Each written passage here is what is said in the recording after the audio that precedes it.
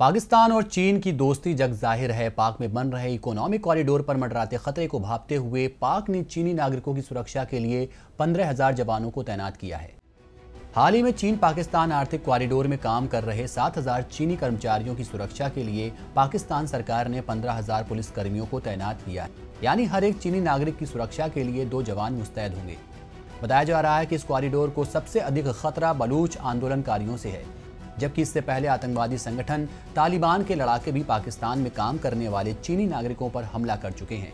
2000 kilometre के विस्तार वाले इस कॉरिडोर को पाकिस्तान की आर्थिक तरक्की में बड़ा कदम माना जा रहा है। इसके ज़रिए चीन में काशगढ़ से बलूचिस्तान में ग्वाडर पोर्ट को सीधे जोड़ा जा सकेगा। इसका सीधा फ़ायदा चीन को भी मिलेगा, क्योंकि चीन के लिए पाकिस्तान अधिकृत कश्मीर तक पहुँचने के लिए रास्ता मिल सकेगा। कॉरिडोर के 330 प्रोजेक्ट्स में से सिर्फ़ आठ बलूचिस्तान के इलाके में हैं, जहाँ अलगाववादी इसका पुरजोर विरोध कर रहे हैं।